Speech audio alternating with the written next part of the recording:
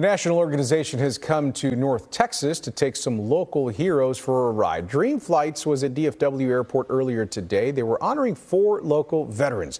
Each veteran got to fly in the Spirit of Wisconsin, which is a restored 1943 Stearman biplane from World War II. Those flights lasted about 20 minutes, and each veteran received an autographed baseball cap when they landed. We spoke with a few of the veterans before they took their flight. I've never ridden in a uh, open cockpit aircraft, so this will be first time. It's kind of nice being treated like royalty. Not used to it, but th- th- this will be fun. This will be a lot of fun.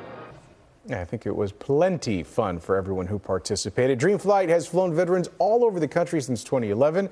Today was their 7,000th flight. That's pretty cool. What an opportunity. That's yeah. great.